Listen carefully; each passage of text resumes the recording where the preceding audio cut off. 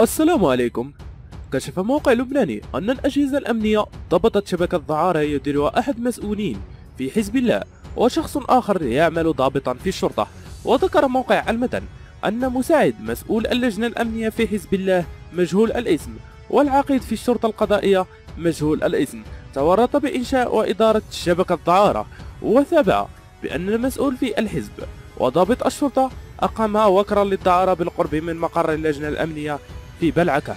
وذكر الموقع أن ضابط الشرطة أوقف لدى شعبه المعلومات فيما يجري التحقيق من قبل حزب الله مع قياده وسط أنباء عن تورط قيادي آخر في القضية. بحسب المدن ولم يصدر أي تعليق من الشرطة اللبنانية أو حزب الله على الخبر الذي أورده موقع المدن. والسلام عليكم.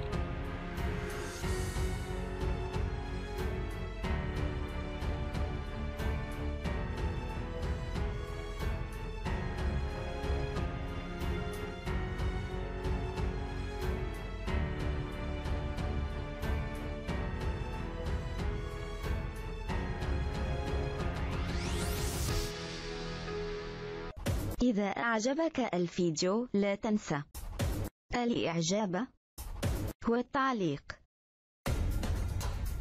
ولكي يصلك كل جديد.